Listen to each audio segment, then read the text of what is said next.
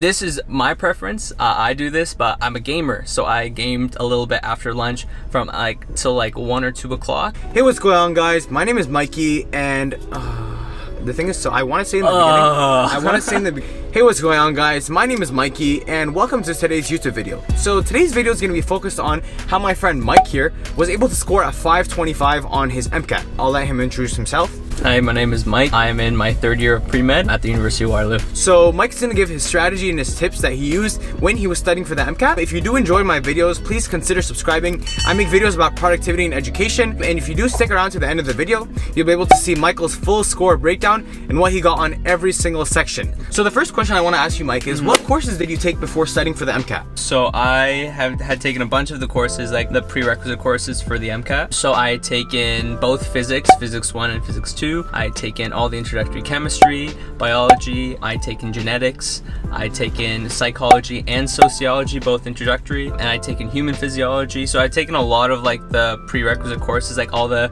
material that would have been on the MCAT. I took the courses for. So just when I started my studying, I already had a lot of the background. So the next question I wanna ask you is, how long did you study for, and when exactly did you take the MCAT? So I started my studying in a right after the winter semester. So about two weeks after my semester ended, because I studied over the summer, and I took my exam August 7th. So that gave me about three months to study for uh, my test. So you didn't really take the route of where you did it for six months and you did it over a weekend. You kind of did it all in one shot. Uh, yeah, I kind of like uh, did it all at once because I was thinking of starting during my semester, but I really wanted to focus on my school at the time, um, and I really didn't want to have to work on multiple things at once because that was a really, really busy semester.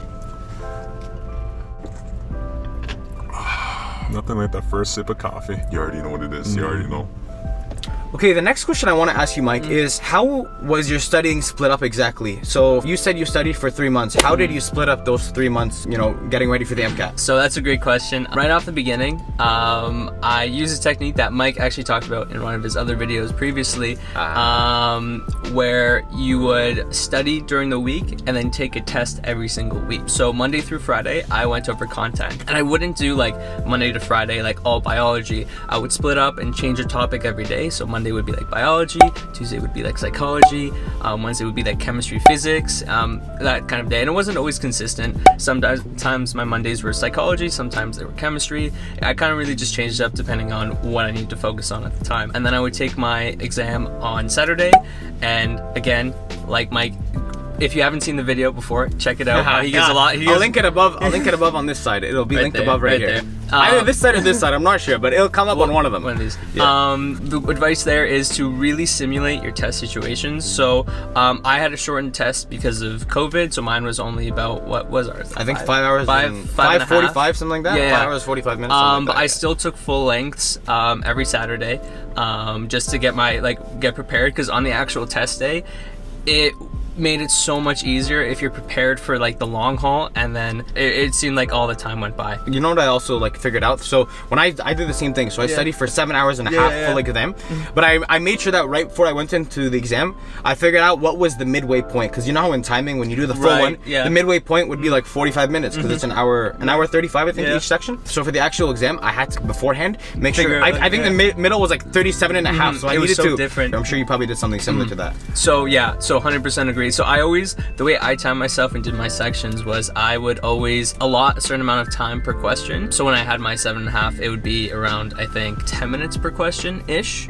Per passage. per passage. Yeah. Yeah, um, yeah, not per question. That'd be rough. yeah, so I had to adjust that just a little bit. Um, it's still similar for the shortened one, but you're watching this now, I doubt you're gonna have to take a shortened Yeah, test. probably. But yeah, just knowing when you're going into your test, how long you want to allot each question, just so you're not taking too much time, or you can because you can always go back on your questions um, later. So the next thing I wanted to ask you, Mike, could you take us through a day in the life of what you did when you were studying? So I know how you said on weekdays you did content review and then the weekends you did your practice tests. So how would it work? Let's say it's a Monday morning. How would your day go about?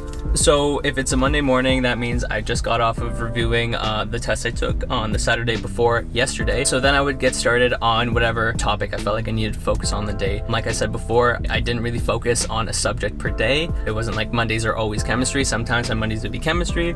Sometimes they'd be psych. Sometimes they'd be biology. Psychology, really depending on what I felt like I needed to work on that day. So uh, I would get started. Uh, I'd wake up at around eight o'clock ish um, that day, and then I'd get get a workout in, normally a run, and then have some breakfast, and then I would get started on uh, my review after breakfast. I'd normally do that until around 12 o'clock, and then I would have lunch.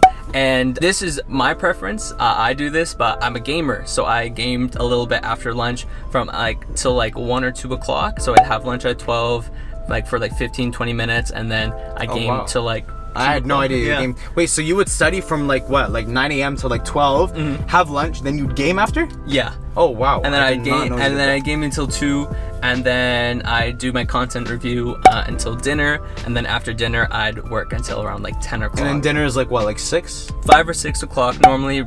You know, Wow. really depending on, but So yeah, you would get it running and you would game. Yeah, so that was huge. huge. I didn't do that's this. right- crazy. I didn't do this right from the beginning. My schedule was all over the place. Sometimes I wake up at 11 and then try to study for eight hours. Sometimes I'd wake up at nine, study for two hours, and then like scroll on Instagram Mm-hmm. the whole day. But once I started scheduling my time, you know, I would at first I did unrealistic scheduling where I'd say, oh, I'll schedule eight hours of studying, then only do like two or 3 Mm-hmm. But by splitting it up and giving time for me, like for the working out, for the you know treating myself to a game, Of like course, in the middle it's of the day. important. Yeah, It's super important. it- you Just know, to get that break in. Mhm, and it was so great because before that I was burning out, I was stressed, so it, it was really really good. Like I know it sounds like wow, like oh my goodness, that's prime studying time right there. But if you give that time for yourself to rest your mind and to, like reset, like I, I thought it was like super super That, important. that's super important. So I'm sure you guys are all.